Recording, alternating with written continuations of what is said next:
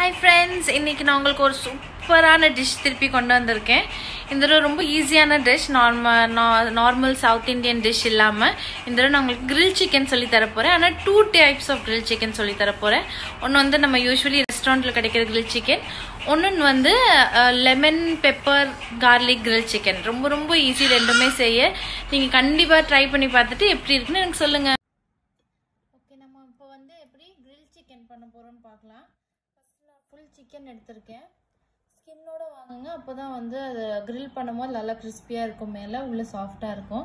இதுக்கு வந்து ஒரு டெக்னிக் இருக்குது ஸ்கின் ஸ்கின் வந்து நல்லா கிறிஸ்பியாக இருக்குது நீங்கள் இப்படி இந்த ஸ்கின்னுக்கும் இதுக்கும் நடுவில் இப்படி நீங்கள் கை விட்டுட்டு இந்த ஸ்கின்னை வந்து தனியாக எடுத்து விடணும். மெதுவாக எடுத்து விடணும் இல்லைன்னா கிழிஞ்சிடும் ஸ்கின்னு அப்போ தான் நம்ம இதுக்குள்ளே வந்து பட்டர் போட முடியும். இப்படி நல்லா இது பண்ணி விட்டுக்கோங்க. இப்போ திருப்பி விட்டு இந்த பக்கத்துலேருந்து நீங்கள் அப்படி வந்து ஃபிங்கர் விட்டு ஸ்கின்னையும் ஃப்ளெஷ்ஷையும் கொஞ்சம் செப்பரேட் பண்ணிக்கோங்க. அப்போ தான் வந்து நல்லா கிறிஸ்பியாக வரும் சிக்கனை அதெல்லாம் நம்ம பட்டர் போட போகிறோம் தெரியுதா உங்களுக்கு? ஸ்கின்னும் ஃப்ளெஷ்ஷும் செப்பரேட்டடாக இருக்குது அப்படியே இந்த லெக்லேயும் இது பண்ணி விட்ருங்க எல்லாத்துலேயுமே நம்ம பட்டர் போடணும். அப்போ தான் கிறிஸ்பியாக வரும். ஓகே இப்போ நம்ம பண்ணியாச்சு. சிக்கன் வந்து ட்ரையாக இருக்கணும். அதனால் நீங்கள் வந்து இதில் இருக்க எல்லா வெட் இது வாட்டர்லாம் எடுத்துடணும். அதனால் டிஷ்யூ வச்சு ஸ்லைட்டாக நீங்கள் பேட் பண்ணிங்கன்னா எல்லா வாட்டரும் போயிடும் பண்ணியாச்சு. இப்போ நம்ம இதில் வந்து ஃபஸ்ட்டு வந்து உள்ளே பட்டர் அப்ளை பண்ணிக்க போகிறோம் நான் வந்து பட்டர் எடுத்திருக்கேன். நம்ம பட்டரை வந்து உள்ள ஸ்கின்குள்ளே இது பண்ணிடணும். ப்ளஸ் ஸ்ப்ரெட் ஆகிற மாதிரி பண்ணி விட்ருங்க அப்போ தான் எல்லா இடத்துலையுமே ஜூஸியாக இருக்கும் சிக்கனு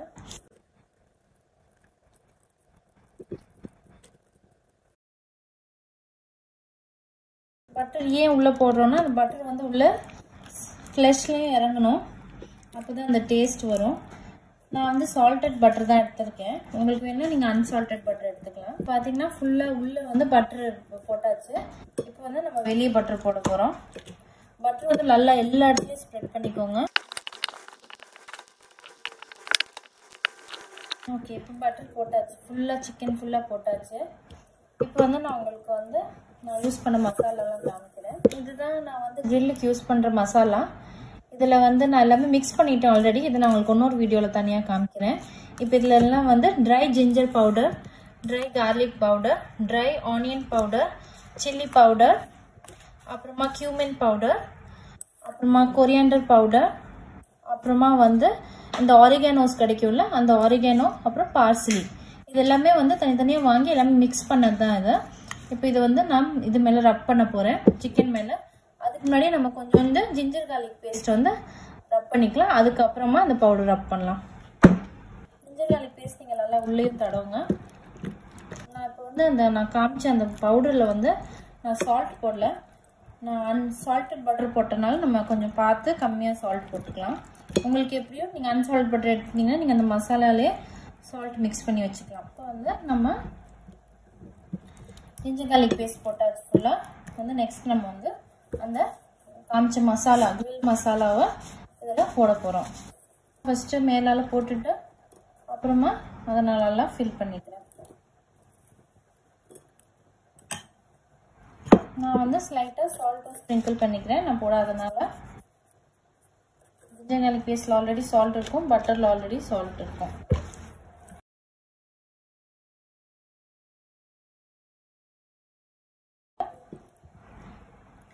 இதுக்குள்ளே வந்து நம்ம வந்து நான் கட் பண்ணி வச்சுருக்கேன் ரெட் ஆனியன் அது வந்து இப்போ ஸ்டஃப் பண்ண போகிறேன் ஏன் ஸ்டஃபிங் பண்ணுறோன்னா அப்போ தான் வந்து ஜூஸியாக இதோட ஃப்ளேவர் எல்லாம் அதில் இறங்கும். இதை வந்து நான் இங்கே வந்து ஸ்டஃப் பண்ண போகிறேன் ஆனியன் அப்புறமா லெமன் அந்த பிக் லைம் கிடைக்கும்ல நான் அது வாங்கியிருக்கேன். உங்களுக்கு இது கிடைக்கலன்னா நீங்கள் நார்மல் அந்த சின்ன சின்ன க்ரீன் லெமனையும் போட்டுக்கலாம். அது ஒன்று இது ஒன்று ஆனியன் ஒன்று இது ஒன்று மாற்றி மாற்றி நீங்கள் ஸ்டஃப் பண்ணிக்கோங்க.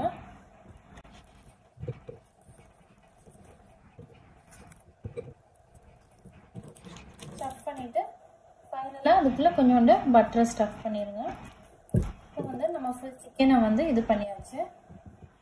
இப்போ வந்து நான் இங்கே ஒரு சின்ன ஹோல் போடுவேன் அப்போ நம்ம இந்த விங்ஸை வந்து அதுக்குள்ளே ஸ்டஃப் பண்ணி வைக்க முடியும். இல்லைன்னா க்ரில் பண்ணும்போது தனியாக விங்ஸ் வெளியே வந்துடும் இப்படி நீங்கள் உள்ளே உள்ளே அமுத்திக்கணும் விங்ஸை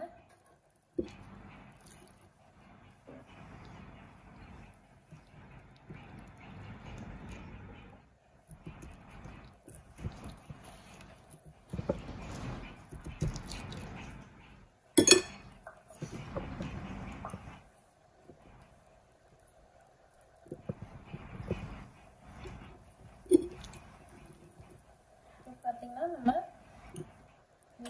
ஸ்டஃப் பண்ணிட்டோம். உள்ள ஸ்டஃபிங்கும் வச்சாச்சு. இப்போ இந்த ஸ்டஃபிங் நம்ம நல்லா க்ளோஸ் பண்ணுறதுக்கு இந்த ரெண்டு லெக்கையும் இப்படி பண்ணி நீங்கள் இதை டைப் பண்ணிடணும். நான் வந்து இந்த கிளாத் ரப்பர் பேண்ட் எடுத்திருக்கேன். ஜெனரலி சிக்கனோட கிடைக்கும். சப்போஸ் இது கிடைக்கலனா நீங்கள் நார்மல் த்ரெட் எடுத்து கூட பண்ணிக்கலாம். இது நம்ம அப்புறமா குக் ஆன பிறகு கட் பண்ணிடலாம் நம்ம. பார்த்தீங்கன்னா நான் இதை டைப் பண்ணிட்டேன் இப்படி. ஃபில்லிங்கும் வெளியே வராது. இப்போ நம்ம வந்து ஃபைனலாக வந்து இது மேலே கொஞ்சம் ஆலிவ் ஆயில் வந்து ஸ்ப்ரெட் பண்ணிவிட்டு நம்ம கிரில்லில் வைக்கலாம்.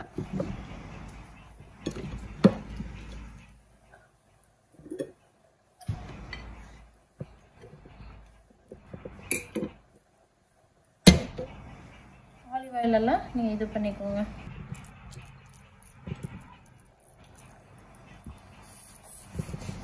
இப்போ இது போக ரெடி ஆயிடுச்சு. நான் வந்து ரெண்டு சிக்கன் ஒன்றா வைக்க போகிறேன் அதனால் நான் ஒன்று ஒன்று பண்ணிவிட்டு அதுக்கப்புறம் கிரில்லில் வைக்கும் போது உங்களுக்கு காமிக்கிறேன். இப்போ வந்து நான் ரெண்டு சிக்கன் பண்ணி வச்சுருக்கேன். இப்போ வந்து இதை நான் ஒன்றா ஒரு இதாக போட்டு கிரில்லில் இது பண்ண போகிறேன் இந்த ஸ்டூவரில் வந்து நான் இப்போ வந்து ஃபிக்ஸ் பண்ணிவிட்டு அதுக்கப்புறம் உள்ளே இது பண்ணுவேன். இப்போ நான் வந்து இந்த ஸ்டூவரில் ஃபிக்ஸ் போட போகிறேன் இது வந்து நீங்கள் என்ன பண்ணுங்கன்னா இந்த ரெண்டு காலுக்கு நடுவில் இதை விட்டுட்டு உள்ள ஸ்டஃபிங் இருக்கிறதுனால கொஞ்சம் டிஃபிகல்ட்டாக இருக்கும். ஆ வந்துடும் வெளியே. ஆ வந்து வெளியே வந்துடுச்சு அதே மாதிரி நெக்ஸ்ட்டையும்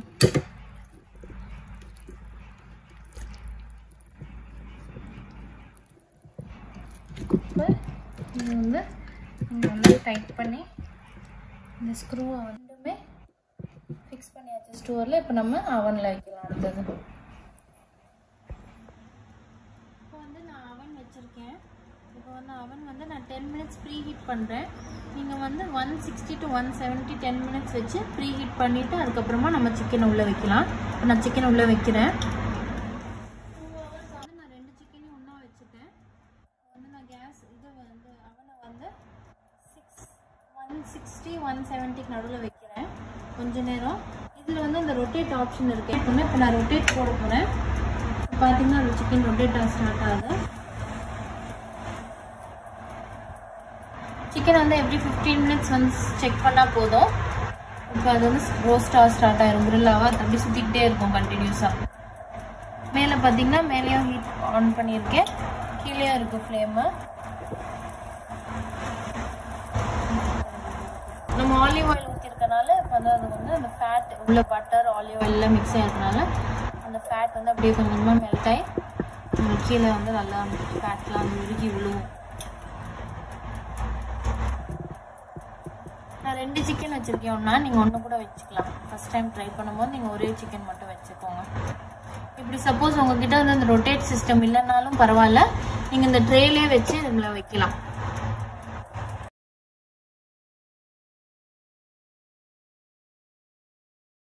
வந்து நெக்ஸ்ட் வந்து நம்ம சிக்கன் ரோஸ்ட் பண்ண போகிறோம் அதுக்கு வந்து நான் சிக்கன் வந்து இப்படி வெட்டியிருக்கேன். ஃபுல் சிக்கன் எடுத்து. இதெல்லாம் ஜாயிண்ட்டாக தான் இருக்குது பின்னாடி இங்கே வெட்டியிருக்கேன். அதை எப்படி வெட்டணும்னு நான் உங்களுக்கு இப்போ காமிக்கிறேன்.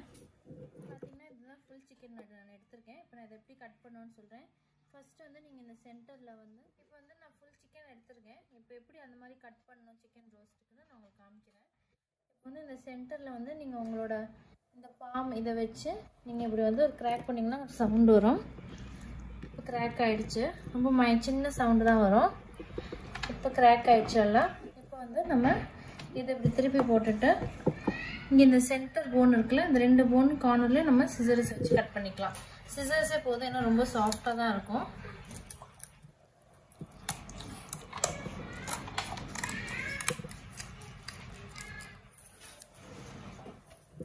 இப்போ பார்த்தீங்கன்னா இப்படி இதை கட் பண்ணியாச்சு. இந்த பக்கமும் இதை நான் கட் பண்ணிடுறேன்.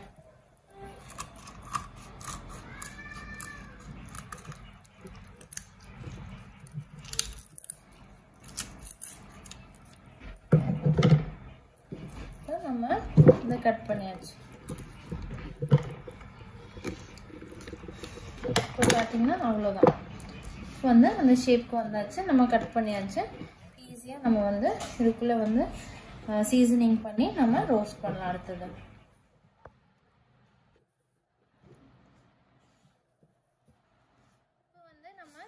சிக்கன் ரோஸ்ட் பண்ண போகிறோம் அதுக்கு என்ன பண்ணலான்னு பார்க்கலாம். நான் ஃபஸ்ட்டு கொஞ்சம் ஜிஞ்சர் கார்லிக் பேஸ்ட் மட்டும் ரப் பண்ணிடுறேன். இது ரொம்ப ஈஸியானது இது. இப்போ இதில் பார்த்தீங்கன்னா இதில் வந்து பட்டர் கார்லிக் அப்புறமா கொரியாண்டர் லீவ்ஸ் இது எல்லாமே நான் போட்டு மிக்ஸ் பண்ணி வச்சுருக்கேன்.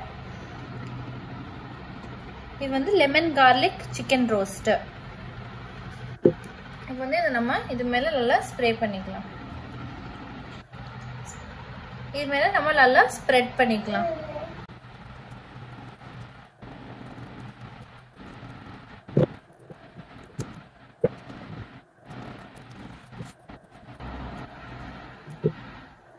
நம்ம வந்து இப்போ ஸ்லைட்டாக சால்ட் ஸ்ப்ரிங்கிள் பண்ணிக்கலாம்.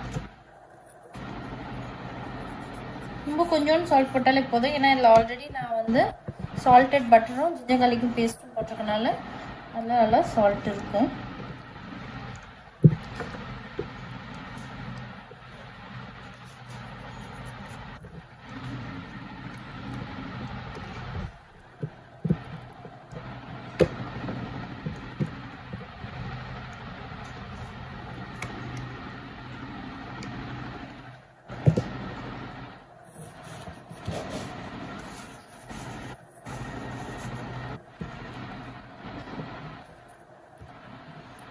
கொஞ்சோண்டு நம்ம வந்து இது மேலே நல்லா ஸ்ப்ரெட் பண்ணிவிட்டு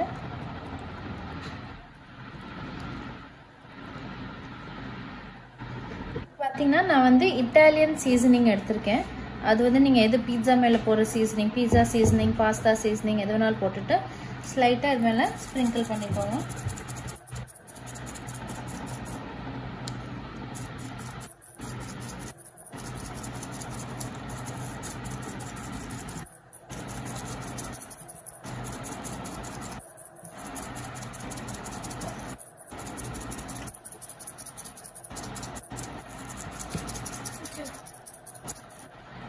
ஃபைனலாக வந்து நம்ம வந்து கொஞ்சம் லெமன் ஸ்பீஸ் பண்ணி விட்டுக்கலாம் இதனால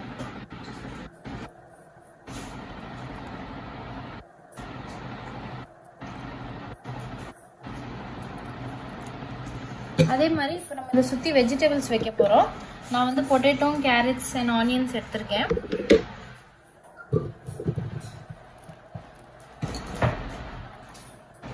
பொட்டேட்டோ கேரட்ஸ் அண்ட் ஆனியன்ஸ் இந்த சேம் சீசனிங் வந்து இந்த கார்லிக் பட்டர் கொரியாண்டர் லீவ்ஸ் இதை வந்து நம்ம இதில் வந்து நல்லா மிக்ஸ் பண்ணிவிட்டு அப்புறமா சைடில் நம்ம வச்சிடலாம். நான் அந்த சேம் சீசனிங்கும் நல்லா மிக்ஸ் பண்ணிக்கிட்டேன் இப்போ நம்ம இந்த சைடில் வச்சிடலாம்.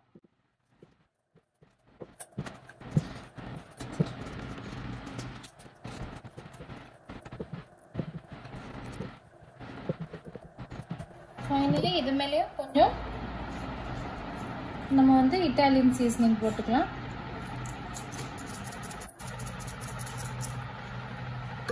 நான் இப்போ வந்து அவனை வந்து லாஸ்ட் டைம் மாதிரி ப்ரீ ஹீட் பண்ணி வச்சுருக்கேன். டென் மினிட்ஸ் ப்ரீ ஹீட் பண்ணி வச்சுருக்கேன் ஒன் செவன்ட்டியில் இப்போ நம்ம இதை போய் வச்சிடலாம் அதுக்குள்ளே.